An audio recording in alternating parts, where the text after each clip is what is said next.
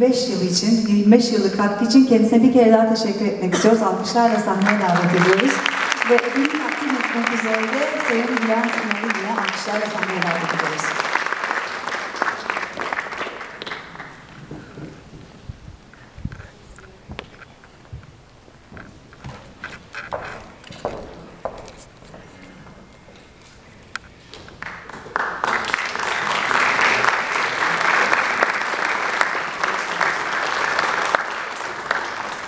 Söyleyecek birkaç kelimeniz vardır diye düşünüyorum. Siz kürsüye alalım mı?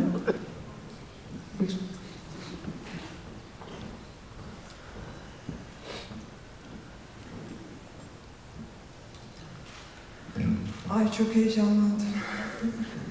Ee, bu e, ödülün e, çok farklı bir değeri var benim için. Çünkü babam e, İstanbul Hukuk Fakültesi mezunu, e, demokrat bir yargıçtı. Hayatı boyunca adalet peşinde koştu. Bu nedenle beni bu ödülle onurlandıran e, kurula çok teşekkür ediyorum. Ee, ben yönetmenlik serüvenim boyunca e, bir cümlenin izini sürdüm hep.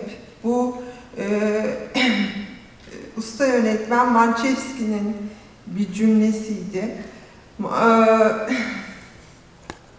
Manchevski der ki, e, biz Avrasyalı yönetmenleriz ve çektiğimiz her karede e, bu topraklar, topraklarımızın meselelerini anlatmak zorundayız. Ben de öyle yap. Ay sesim titriyor yani.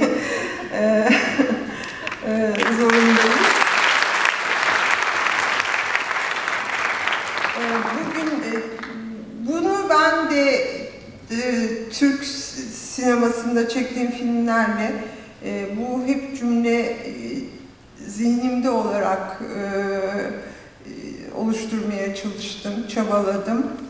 Ee, Bugün de ülkemiz oldukça karanlık, sancılı ve acılı günler ve hikayeler yaşıyor. Bu hikayelerin çok cesur, e, yaratıcı ve duyarlı bir anlatımla e, yer aldığı sinema salonlarında hatta e, ekranlarda seyirciyle buluşmasını diliyorum ve bunu çok istiyorum. Artık çok sıkıldık çünkü aynı hikayelerden. Ee, ve bu ödülü e, sevgili babamın adı, anısına adıyorum.